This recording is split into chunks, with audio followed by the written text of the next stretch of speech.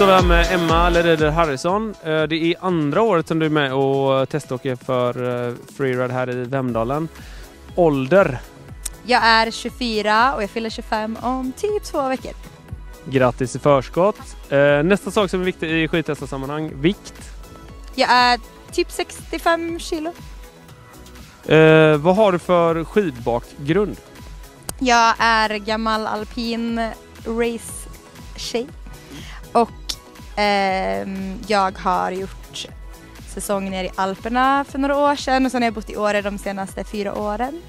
Eh, där jag, eh, ja men nu de senaste åren liksom sen jag slutade med race, racingen så har jag kört mycket freeride. Hur många skrapade ihop ett hundratal skiddagar då varje säsong eller? Jag vågar inte riktigt svara på hur många, men det blir många. Jag försöker komma ut så mycket jag kan. Jag försöker ju åka nästan varje dag. Men det blir inte riktigt varje dag såklart. Men jag försöker åka så mycket jag bara kan. Och du har varit skidlärare också ett tag eller? Ja, det stämmer. Det missar jag. Det är bra att du har koll. Ja, jag var eh, coach för eh, Race Kids efter jag slutat tävla i några år och sen åkte jag ner till Alperna och var skidlärare där en säsong också. Var i Alperna var du då? då? I Bad Gastein. Hade du gjort någon mer säsong i Alperna förutom eh, just där? Eh, nej, jag har varit nere bara och åkt i övrigt. Liksom. Härligt! Du, eh, vi är jätteglada för att du är med och eh, nu får du sticka hem till Åre. Tack! Första året som eh, teståkare här, skidtestare för freeride. Hur känns det? Det är kul att få vara med. Jag har haft det jättekul. Ehm, det har varit eh, spännande. Jag åker mycket på Fölkel annars. Ja. Nu har jag fått testa nästan alla märken. Och det har varit lärorikt. Ja. Jag har haft mina fördomar om mycket. Ja. Eh, vissa har varit sanna, vissa har inte varit det. Du gav ju Fölkel Mantra en eh, femma. Var du eh, ingen eh, tidigare påverkan där eller? Ingen. Ingen. Nej men jag åker själv på en Fölkel 108 och den är ganska lik. Jag gillar den styvheten, jag gillar den German en- engineering-känslan. Styvt, snabbt, Mm. kul. Men du, vad väger du? Jag väger, eh, jag brukar pendla mellan 70-71, brukar jag göra. Och hur lång är du? Jag är 1,75.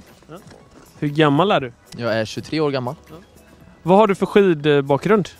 Eh, jag har tävlat, har jag gjort. Mm. Tills jag blev ungefär 15. Och sen har jag sysslat eh, senaste åren med att eh, åka mycket puder. Mm. Lite Kanada, lite Japan, lite sånt. En säsong i Alperna också. Härligt. Har du bara åkt när du har säsongat eller har du fått eh, knega? En säsong har jag knegat, det var nere i Alperna. Eh, Nordlander, dansk resebyrå. Ja. Så då blev det mycket ta hand om danskar och svenskar. Och sen eh, en hel del fin åkning också i Val d'Isère och Ting där nere. Ja, härligt. Du, vad, men eh, om vi kommer tillbaka, vad är det för typ av skidor du gillar då? Om man skulle säga det. Vad, vad letar du efter i en skida? Ehm, det beror lite på hur jag mak- eh, vaknar på morgonen. Mm. Men eh, rent generellt så gillar jag styvt, hårt. Så att, jag, så att skidan utmanar mig. Mm. Jag vill inte känna att jag trycker igenom skidan. Jag åker ganska aggressivt. Jag vill kunna, jag vill kunna trycka på. Och så finns det svar i skidan. Samtidigt är du ju, du gillar att hoppa lite och leka och pressa och sådär. Så att du inte, du är inte bara liksom gammal eh, raceåkare som bara vill åka storslalom i pisten, eller hur? Nej, nej det är jag inte. Utan eh, jag gillar att hoppa runt, flyga runt lite på sidan av, hoppa i backen, hoppa lite park. Men även eh, stora kärleken nu är ju freeride-åkning, lösna. Och eh, så jag gillar mycket olika saker. Eh, så. Härligt. Ja. Och vissa skidor kan man ju få båda med. Ja. En styv lätt skida till exempel, som man kan tura med kanske och, och så. Du, du har ju haft eh, två testfavoriter här får man ändå säga. Eh, vet du, eh, Black Crows, Atris gav den femma och eh, Folkel eh, Mantra eh, 100, 102. 102 var den va? Du gav det också en femma. Ja. Men eh, vilken utav dessa femmor var den bästa femman? Eh, nu kommer pappa Fölkel bli ledsen. Men eh, Black Crowes Atris var väldigt, den imponerade på mig. Ja.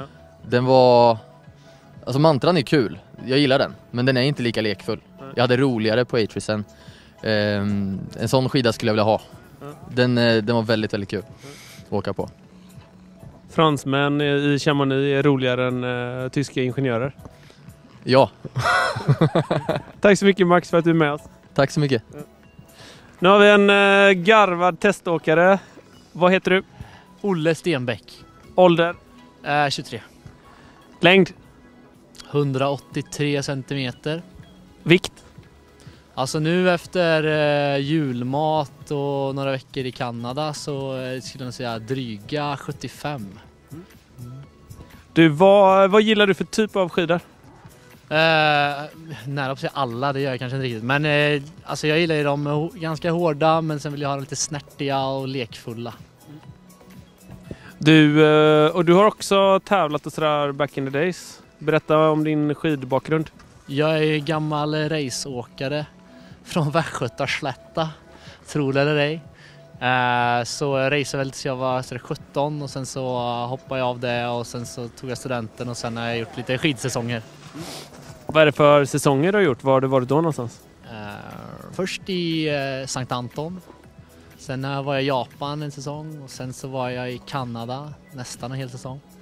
Och sen så var jag, ja förra året så började jag plugga men då fick jag ändå ihop nästan 50 skiddagar med lite Alperna och lite, lite så. Och i år blir det också åkning. Du ska ner till Verbier på en uh, Ista lavinträningsgrej. Vad, vad tänker du om den eh, resan?